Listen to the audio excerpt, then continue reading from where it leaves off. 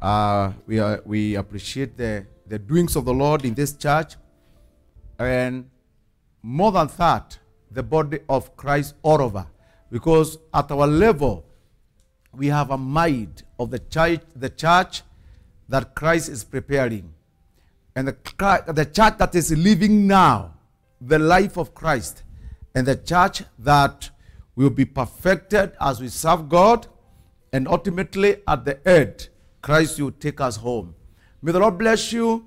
Uh, we am Bishop Peter Gatimu, Apostolic Faith Church, Bahati. Thank you for subscribing to our Facebook and our YouTube. God bless you so much. We now embark on the power in man, part three. Now, last time we agreed that the introduction of man on earth, as it is openly stated in Genesis chapter 1, verse 26, 27, 28, God says, Let us make a man in our image and after our likeness, that he may have dominion in the air, on earth, and under the sea, or in the sea. It was a dissolution in heaven. When we go to verse 27, Genesis chapter 1, verse 27, the Lord says, Now he created them, male and female, he created them. When you go to verse 28, it says, He blessed them. The first part, let us make a resolution. The second part, He implemented the resolution. He made them, when it was being implemented, it, was done in this manner male and female. And when you go to Genesis chapter 1, verse 28, God blesses people in a plural way. He blessed them. Them. It was a couple. And therefore, we cannot uh, we, we, we cannot share or talk about power in a man if that original idea is not involved. It is there. And therefore, we need to understand this way that family is an extension of heavenly government. Where God says, Let us make people in our image. God is extending his government on earth in that level. I know in heaven they don't reproduce, but God extended his government on earth in that status that we see in Genesis. And therefore, we need to believe this way that man, what constitutes a man is unity. God operates in unity. The selfishness in a man is not original. The teaching that is prevailing now be yourself, be yourself, be yourself, self esteem, self me, self me, self me is okay if it is applied well. But it's not being applied well. And that's why we have a problem in marriages. Because you marry a lady, but she wants to be herself. You marry, you get married to a man that that man want to be himself. How can marriage be executed? How can marriage be fruitful? How can marriage be practiced and actualized if the husband remains himself and the wife remains herself? Then it's an issue. You tell the wife, keep your money. The husband, keep your money. Now, how do we produce a family? If then we keep keep your money, keep your money, then we can say Uh, we don't have to to, to, to have sex. Keep your seed, keep your seed. Not produce children. If children are product of union, then marriage, that union that brings about children should be practiced in all areas of life. Let no man deceive us. And therefore, we want to agree that man originally was made to take dominion in the air, take dominion on earth, take dominion in the sea, and was made in all those spheres. Multiply, subdue the earth, take dominion, and all these blessings were imparted on the couple. God blesses a union. God exists in unity. And God blesses unity. So, power of a man is based on unity. And Christ, when was praying for us in John chapter 17, said, Lord, make them one. Make them one. Let them be so much united that the world you know they are my disciples. You know why? In that union, we form ecclesia, the church, which means assembling together, fellowshipping together in such a manner that a church can have services, gifting, career that are blended together to make church so glorious, so blessed. It is in the environment of the church where Christ can raise millionaires for his glory, billionaires for his glory, families for his glory, nurture children for his glory to a level whereby neighbors, when they see us, they will see a unique identity of Christ who called us. Uh huh. Secondly, when God made man and woman, he placed them in a garden. One of the things we need to believe God. We don't we, we, we, we cannot let us believe God in the right way. We know cars came later, but because of Jesus Christ, we can we can go back to original and believe God in original way and say this. If God, when people are obedient or are obedient, placed man and woman in a garden, he can also this day place a man in a certain lifestyle or way of living whereby God will be satisfied that you are eating well, living in peace, and enjoying the right environment. And therefore, another aspect of man is trusting God. Friends, to place you in your garden. It might not be, it's not like the Garden of Eden, but in a certain way, the way God loves you, the way God works with you, you find yourself settled. Just like Isaac, when he landed finally in Rehoboth and said, Finally, we have our own place where we can settle and increase. I say, in the name of Jesus, man who truly love God, one thing that constitutes power in man is when God leads you to a place where you can say, Now I can settle and expand. Brothers and sisters, we must emphasize on this. It doesn't matter where today you are living in a hole. I know God is God of deliverance.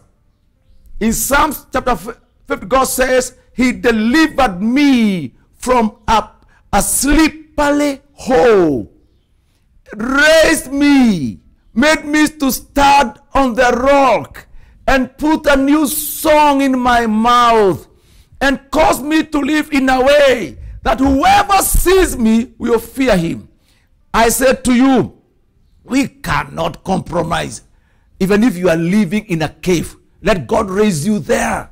We don't have to come and leave you in the cave. As you will come out of the cave and join us as we prosper in the kingdom. The Lord is powerful because some people who are suffering we would like us to join them, suffer with them always. It's okay.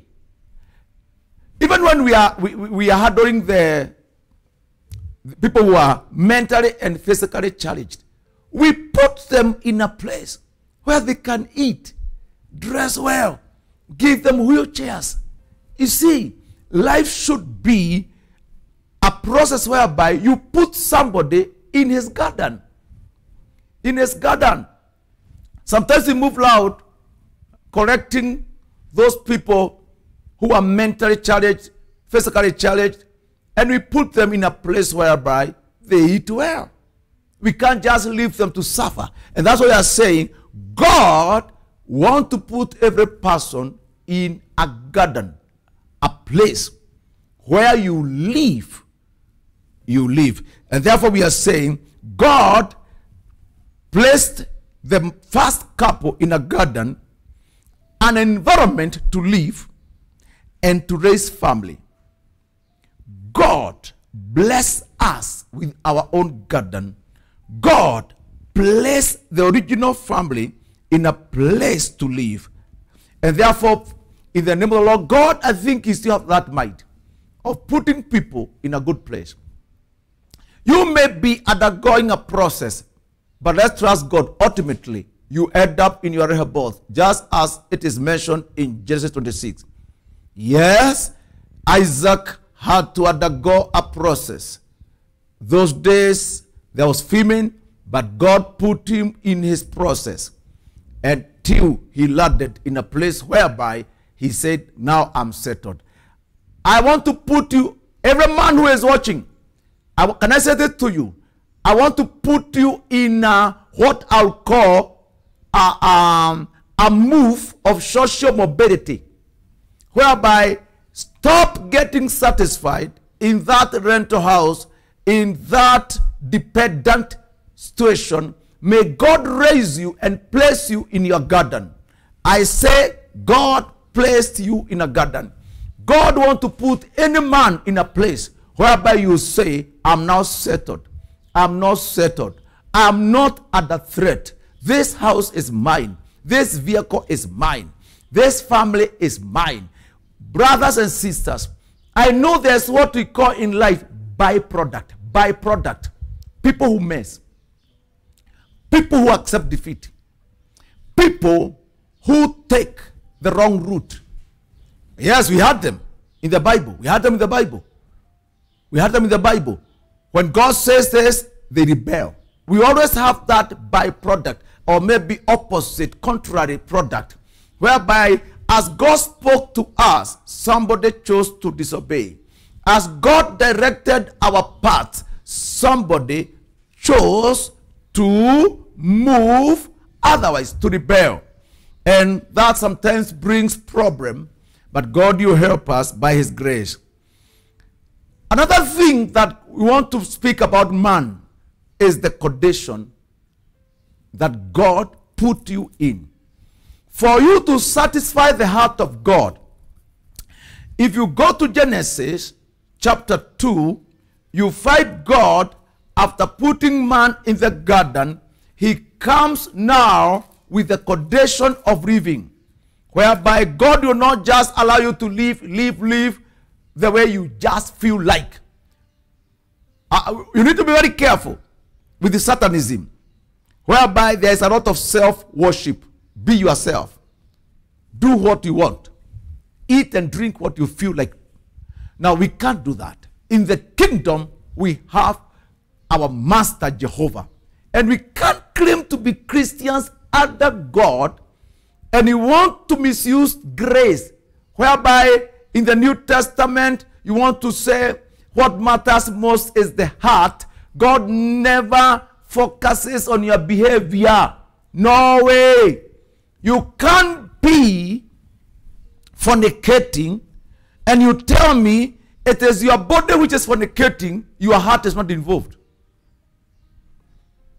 You know, there's that what we, I think they used to call it in Colossians. We have that problem, the church of Colossae, Christian dualism. Eh?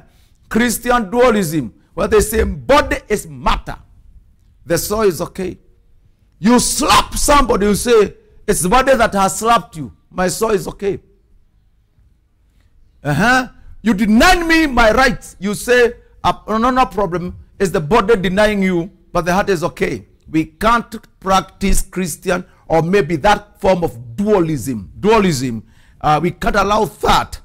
We want to say God put the whole man in the garden but gave his own way of living. Number one, let's see what God did. Uh huh. That is, if you go to chapter 2, verse 8, and the Lord God planted the garden eastward. Uh-huh. And and there's all these details of this garden and go to the details, go to the details, and then finally you go to the last part where God gives the command. If you go to verse 15, it says, And the Lord God took man and put him in the garden of Eden. Higher, let's see. Did God just put man in the garden and leave him there? God gave his conditions. Number one, he said, Tend it and keep it. The first condition, tend the garden and keep it. There are two things a man should do. Tending is actually tilling, working on it. Keeping is maintenance. Two key words that constitute work in the garden. One side, till it. The other side, keep it. One side, work. The other side, maintain. Work. But don't just work. Make sure what you have is maintained. It lives long. And one of the things that man should understand, there's a condition that God gives you. You must work. Work is not a product of curse. Work is a blessing. Where God says, I put in the garden. The first thing, keep it and till it. The second aspect is, is freedom. The freedom that God gave here, if we check the scriptures, the freedom, that is verse, uh-huh, freedom, verse 15. And the Lord God commanded the man, saying, Of every tree of the garden you may eat freely, or you may freely eat, but of the tree of the knowledge of good and evil you should not eat. For in the day that you eat of it, you shall surely die. There are two things. God gave them freedom to eat of the trees of the garden. But the same time, God gave them restriction. You can't have freedom. You are so free, so free, even in normal life. Let's say you are driving in the road. You can't just be free to drive the way you want. You cause accident. Even the way you eat, even if you don't give low, go to a restaurant. You can't just eat anything, anything, anything. You vomit, friends. You vomit. You vomit, friends. You can't. Go to the restaurant, go to the supermarket. You buy chocolate, take a lot of it. Your body will react. Very soon you have allergy. Eh? You go to KFC, take a lot of burger, burger, burger, chips, chips, chips, chips, chicken. Finally, your body will say, no, you have taken enough. There is a restriction. Even the natural life and creation dictate that we are made with freedom that has restriction. The way you speak, there are people when you get to marriage, you can say whatever you want. Have freedom? No, no. You have no freedom to say whatever you want. You have freedom to say whatever can be accommodated, whatever can give life, whatever can bless. Uh huh. You don't have to live like you are alone. You live a life whereby you consider others. If you are a brother and you have several sisters or other brothers, siblings, you can't just live like you are the only son in the house. Even other people, other children belongs to your dad and mom. There is what we call freedom with restriction. It must exist. And therefore, one of the things that you cause man to be powerful is to have a life that identify the area where God gave you freedom to eat and the area where God said, if you surely go beyond here, you will have rebelled, and number two, you will die. Now, another thing is, God, after placing them in the garden, it's as if God eh, eh, is so clear, God gave a warning. There's a possibility of dying if you joke around. There's a possibility of death. Do you know, friends? Anybody who live on earth should have that feeling that there are areas that are dangerous. If I'm not careful, I can die. There are areas that there's no step in. There are areas that I should not step in. You know, some of the girls we have around have no restriction. Have no restriction.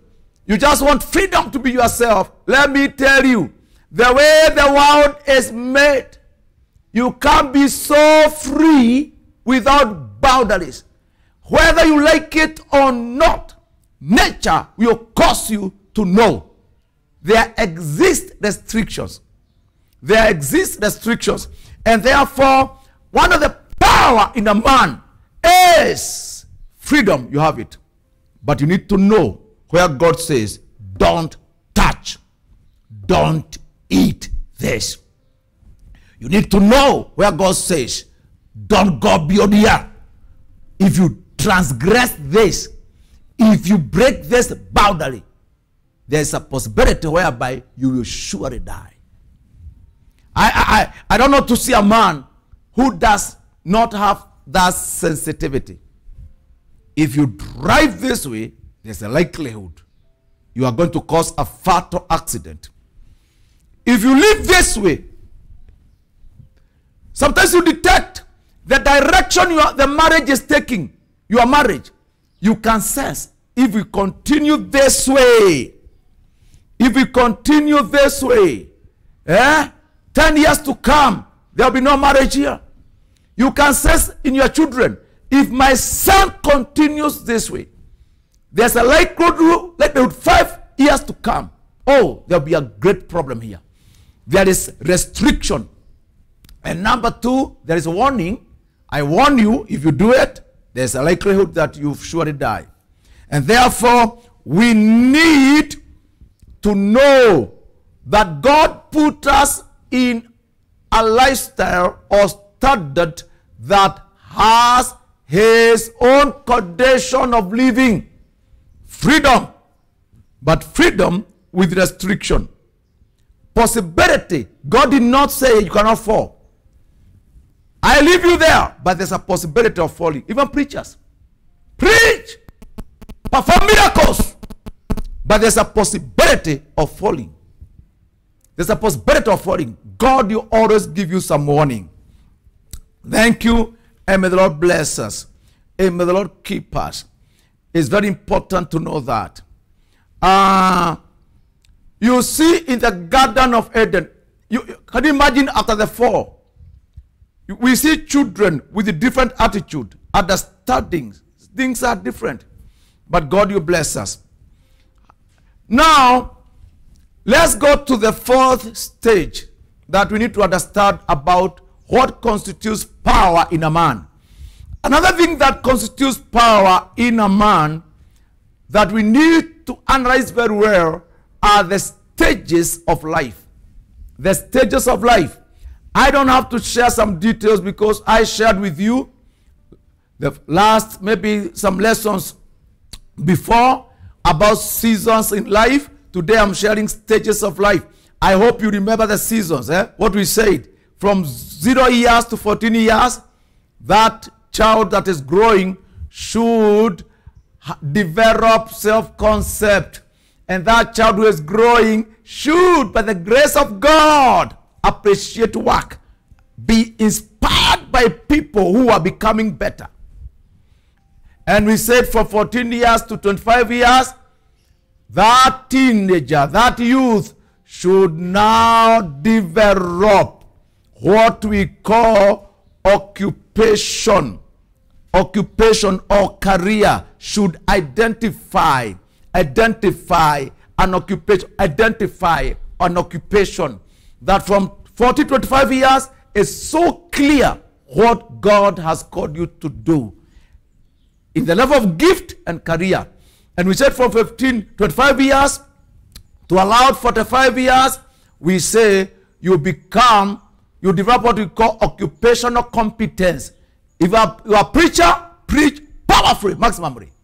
If you're an engineer in that, that age, mm, God powerfully produce. If you get married, friends, get married maximum with that year, that period. If you are a teacher, oh, build a school and become owner of property. We call it occupational competence. And then for 45 years, you got 55 years out there, we say you need now to establish whatever you have. Start settling. Those are not years of jumping, jumping, jumping. Those are years of arranging whatever you have or arranging your life in a way that you are settling. What you have is becoming established. You are actually preparing for retirement in a way that in case you get old, whatever you have can bless your children and even bless other generations after you. When you get to beyond 60, around 60, decline, eh? Decline. Declining means not sitting down, but doing lighter jobs. Eh? Write some books, manage your property in a lighter way, lighter way, whereby your mind is working. Your mind is working. Those are seasons. Let's now come to the stages. Now, let's use the Bible. I, I, I like to use Genesis chapter 4 because that's where the family start manifesting. The family setup, the growth of the family. The Bible says eh, that's where the family is being practiced. And the Genesis chapter 4 gives the real practice of the production or setting of the family. The Bible says Adam knew Eve, or Adam had sex with his wife. That's so clear in the Bible.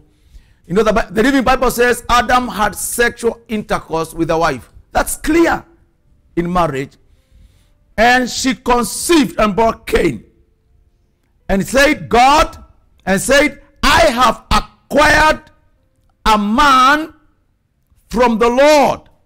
Then she gave birth this time to his brother Abel. And now, there's what we call in life the stage of birth. Now, stage of birth, whereby your mother gives birth to you and you get a birth certificate, or maybe somehow in some countries you can even acquire a, a, a credential, eh? identity card. That is enough for birth. You know, at birth, there are people, even at the age of 20 years, 25 years, what you have and what you have retained is only birth experience. The only thing you have is the birth certificate. You've just lived. You eat, sit, walk, come back, but you are nothing beyond birth. Do you know for me to invite you in my birthday party or my fundraising to ask something, what will bless me in that occasion is not that you are born and you exist around and you have a passport. What I need from you is money. And money is a product not of birth but career. And that's why we insist. Men who loiter around, hang around, are wasting time. I always tell people if you sit down here, you will not stop life to proceed. You still get old. Even if you sleep in your bed for two years, you still grow old. And number two, you will not stop development. You still rise up to see other people are building better houses. And the world is developing. You still grow. But what matters most is the value you add to life. You may live years. It's okay to tell us you lived many years. But if you check Genesis 24, verse 1, it has two things. It says, And Abraham, Abraham was advanced in age. That is age. And then says, and he was blessed with everything. That is, many years with the value. It's okay to thank God that you have spent a whole year and you are crossing over to the other year. But the best thing that will help us is the value you added to that year. Can you show us, because you are lived in 2020, what value did you add to this year?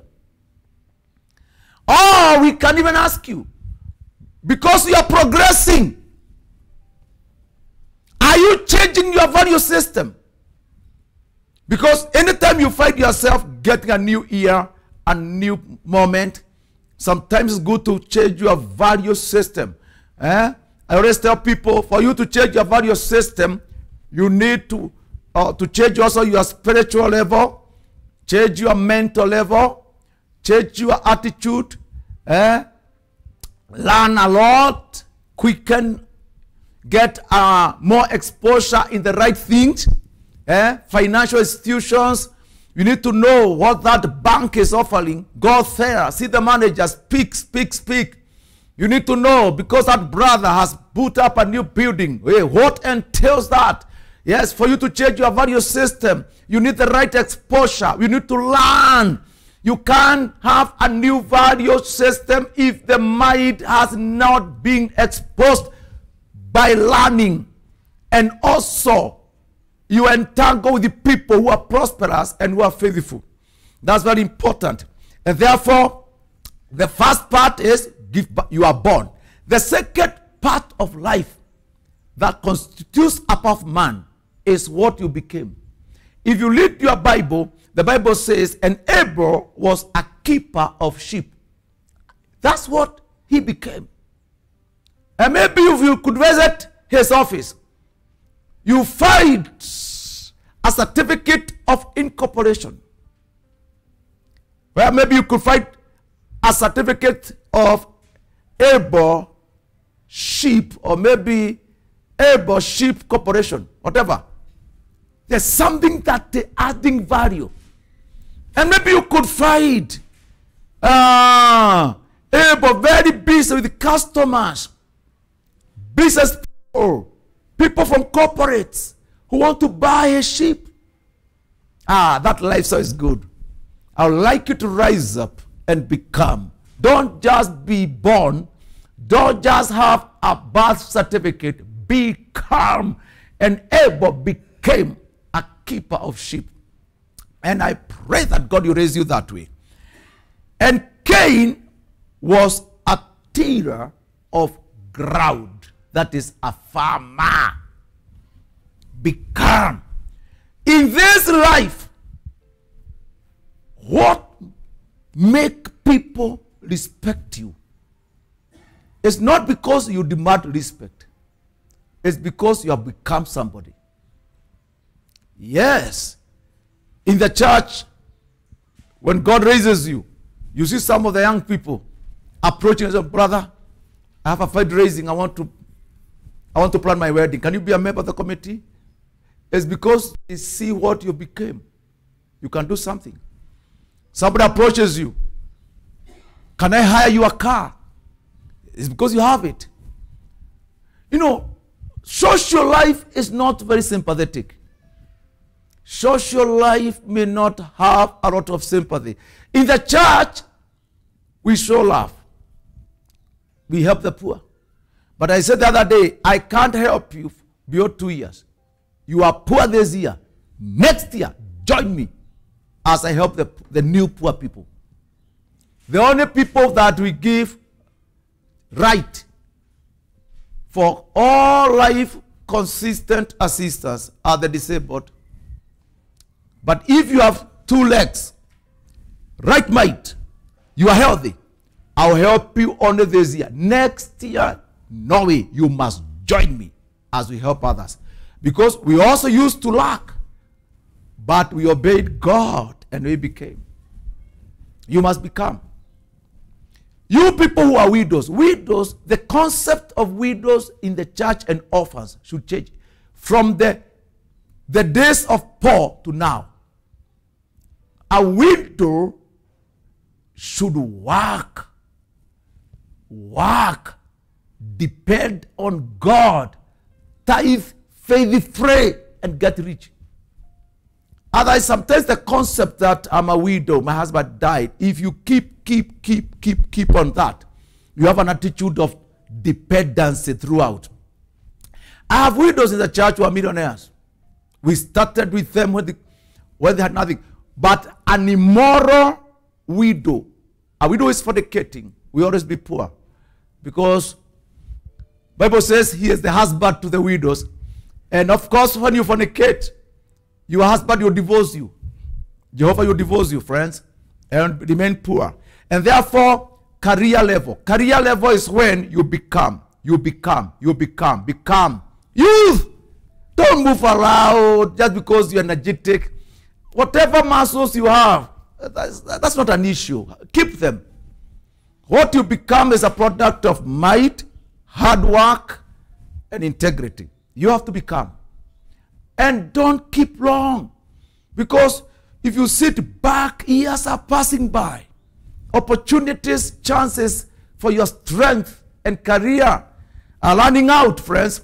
And therefore, we are saying, by God's grace, you need to get to career level. That is a second stage of a man.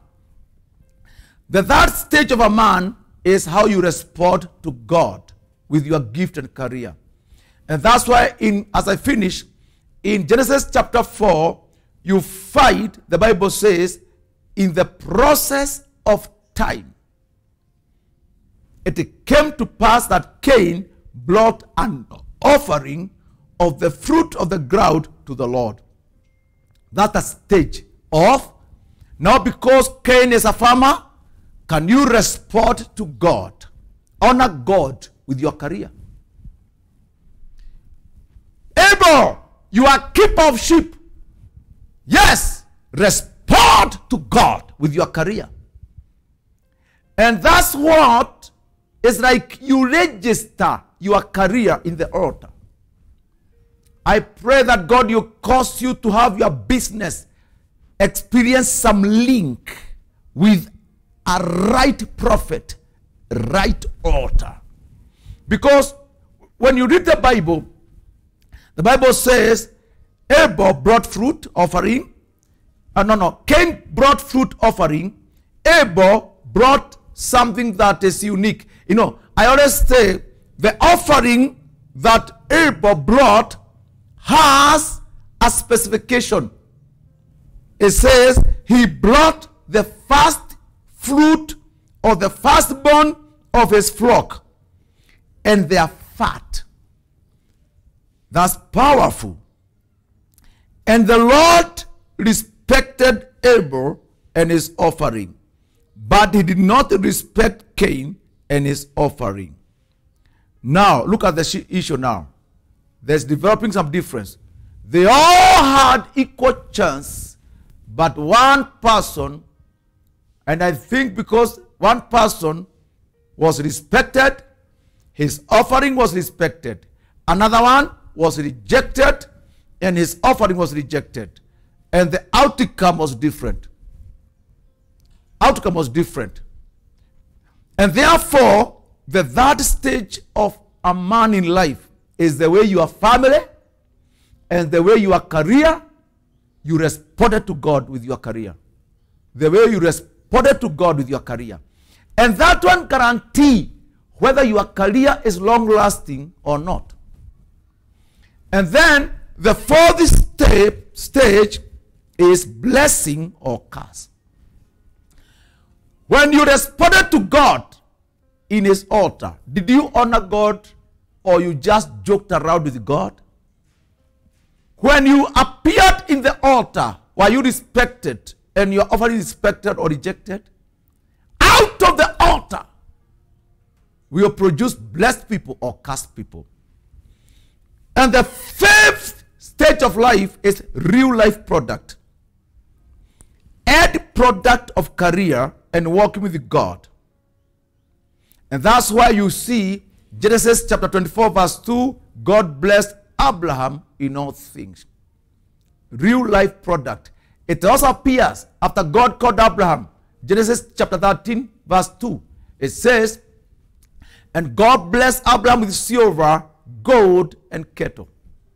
I pray that as a man, undergo the five stages until you produce a family, a lifestyle that is connected with God. Can you hear this, friends? What do you think when God says he respected Abel and he respected his offering? Do you know what it means? You walk out of the altar with a title of a respected man with a respected sacrifice. You must produce respect. You God, God, you present you with that status. You presented yourself well before the altar. God respected you and your offering. You walk out to live a respected life because God you follow that impartation. You came before God, you you gave an offering, but you failed to give God an offering the way He expects because God knows Himself. You don't make God to be God. God knows Himself, and God knows His honor, and God knows His status. As you give offering, you must honor God the way you the way God knows Himself, so that if God respect you, He will follow you with respect. If you are cursing the altar, the curse will follow you. So make sure you live well. Otherwise, God bless you. We'll get that place today. Next time, we will finalize this teaching about the, the power of a man. I know you are getting blessed and your mind is getting open now.